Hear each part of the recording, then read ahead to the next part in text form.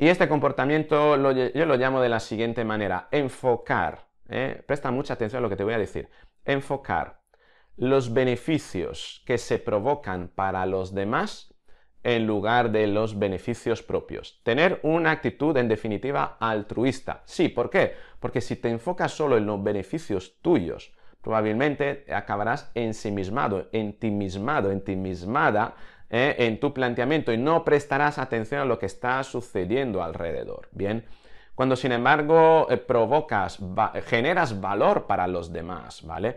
Provocas algo que sea en beneficio de los demás, esto te obligará a estar en continua comunicación con aquella persona, ¿no? Y recibir, ¿eh? recibir entonces inputs, recibir información que te va a permitir saber qué es lo que estás haciendo adecuadamente y qué es lo que puedes cambiar. Sin embargo, cuando nos enfocamos exclusivamente en nuestro propio planteamiento, en nuestro propio beneficio, no vamos a ser capaces, porque no tenemos una, digamos, un referente, un término de comparación, no vamos a ser capaces de eh, valorar hasta qué punto estamos en lo correcto, estamos en lo adecuado o es necesario cambiar de postura.